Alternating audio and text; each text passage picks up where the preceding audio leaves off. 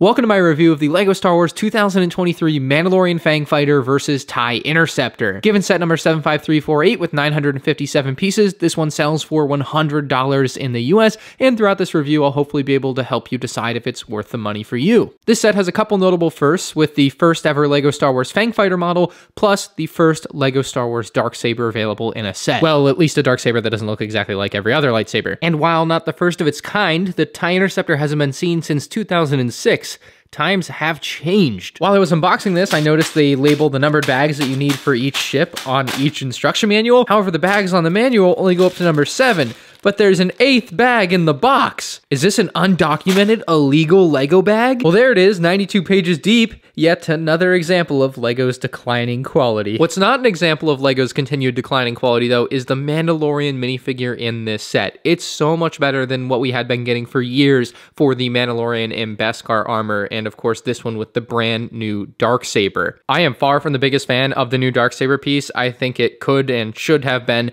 much better than it is, but there is absolutely no denying that it is an improvement over previous versions, and that might just be what you are looking for. And if that is, this is that. It does put the good enough, and only the best is good enough. And comparing the figure in the middle to the old Beskar Mando on the left and the UCS Razor Crest Mando on the right, you can see that it's kind of a mixture of the two. The Beskar armor printing for the torso, legs, and arms is the exact same that we've seen on previous figures. However, the helmet print mirrors that of the UCS Razor Crest Mandalorian, giving a much more accurate and better looking helmet print than we were getting previously.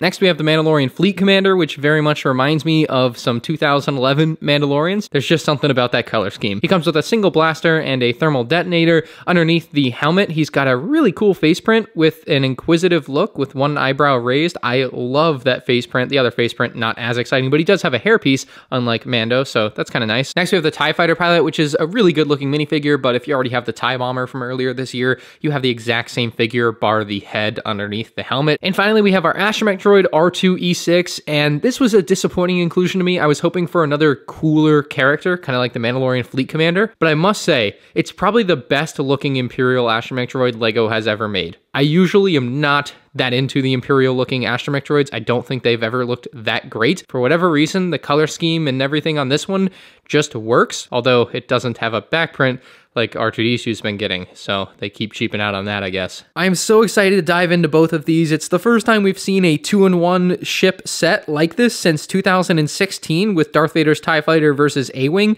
That set was 90 bucks, and this set is only $10 more. It looks to me like a good value for 100 bucks off the bat.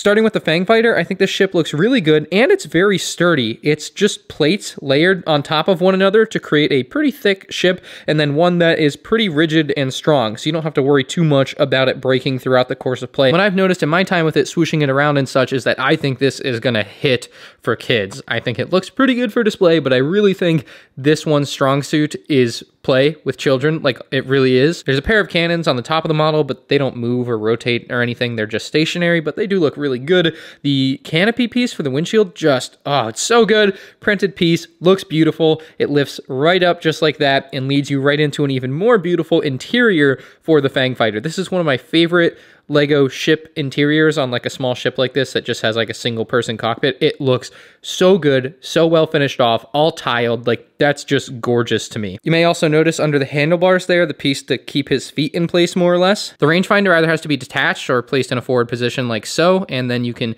drop him in there, push his feet forward, and he is kind of locked in place. There's plenty of room in there for even his jetpack at the back there, so that's why it's so much larger than you would think it needs to be for one character, but dang, does he fit in there nicely, and he adds that bit of color that this ship desperately needs. There's a small compartment at the front of the ship that looks like a hood. You can lift that off, and inside you have a small amount of space where you can fit the blaster and thermal detonator from the Mandalorian Fleet Commander if that's what you want to do. You top that off and you're good to go. It fits on just fine. You cannot, however, fit his hairpiece in there. That will not fit. The rest of the top of the ship just mixes the gray and white together to create the pattern that you see in it. It's a pretty good pattern that's mirrored on the bottom. Looks very nice to me. Also on the bottom, we have our spring-loaded shooters. You can shoot off at the TIE Interceptor or whatever you like. And then finally, at the back, we have the engines, which are very nicely designed. You have three of them, and you can even hold it from the engines, even though it's a little slippery. Like, it won't just snap off. It's that strong of a model. It's actually insanely well designed for strength, but I'm not all that interested in the Fang Fighter. I like this.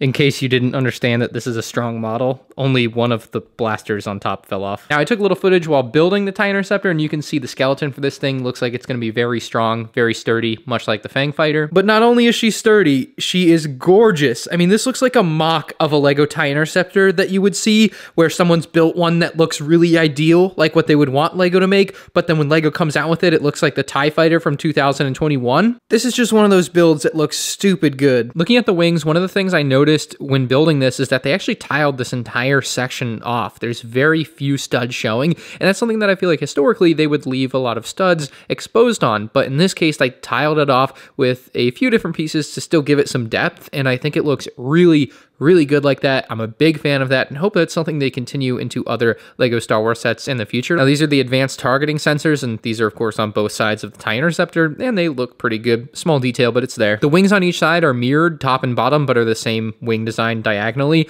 but these are more tiled off than I was expecting. It looks really good to me, and they even got a crazy detail with this strip of gray that runs along the top here. That's something incredibly accurate to the in-universe ships that previously I feel like we would only see on something like a UCS model, but getting that in on a play scale model like this just looks so good and really takes it to the next level. Finally, we have these small blaster cannons on the front of the ship. They don't do anything, but they do look pretty cool. Much like the Fang Fighter, the underside is the same design as the top side, and it even incorporates that small strip of gray again very accurately. I think it looks so good like that. They did such a great job with the wings on this TIE Interceptor. You can see that connection point there, again, very strong as we saw in the skeleton footage, something you don't have to worry about breaking when flying around and playing with this if you're a kid or an adult. I'm not going to judge what you do. Looking at the back, it's almost perfect, except for these blue Technic pins on the backside. It's just one of those things that will always be a distraction on a set like this, where it's predominantly gray and black, and then you have this blue color that just doesn't belong. It is not a deal breaker probably for anyone, but should definitely be pointed out. There's these red lights on the back, which I think are the thrust, and those look really good. They have kind of this black void in the middle here, but again, just beautifully designed on this backside. And there's your access to fire off your spring-loaded shooters if you want.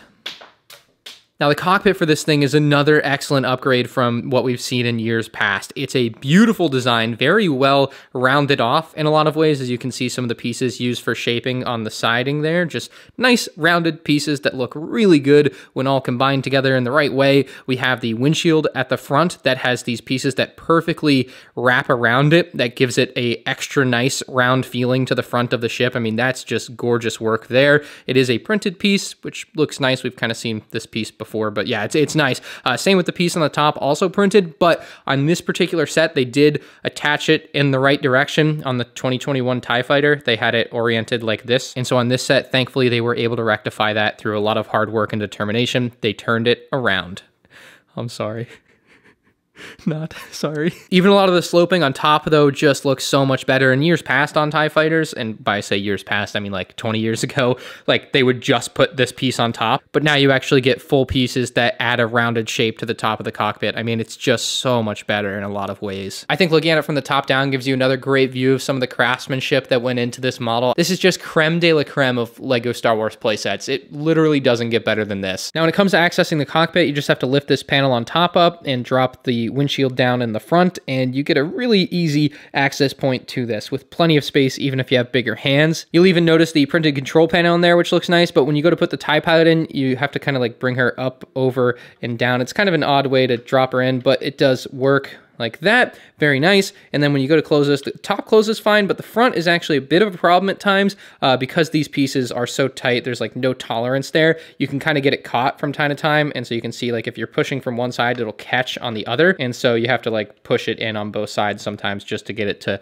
lay flat in there. But that is probably the best looking cockpit on a Playscale TIE Fighter model I've ever seen. This is the biggest no-brainer purchase since the Louisiana purchase. I think this is worth every penny of its $100 price tag, especially because that TIE Interceptor is probably the best playset TIE Fighter they've ever made. As mentioned earlier, I might not be the biggest fan of the Dark Saber, but this is the better of the two sets to get the Dark Saber in for 2023 for sure. I want to give this one a 10 out of 10 because I just love that TIE Interceptor so much, but I was looking for one cooler minifigure in this set, plus a better Dark Saber at the end of the day, so a 9.5 out of 10 will suffice. Thank you for choosing to watch my review, and if you do decide to buy this set, please use the affiliate link in the description below. You can check out more 2023 LEGO set reviews on the end screen now.